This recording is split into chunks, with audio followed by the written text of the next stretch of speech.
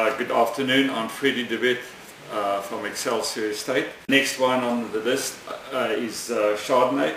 Now, Chardonnay does extremely well in Robertson. The climate, the soils are perfect for the variety. So Chardonnay likes limestone soils, it gives it a citrusy character, and that's why uh, we like producing Chardonnay there, and it, gives very good results. Uh, unfortunately, Chardonnay went through a big dip right to the world, but uh, for various reasons, but it's making a big comeback again.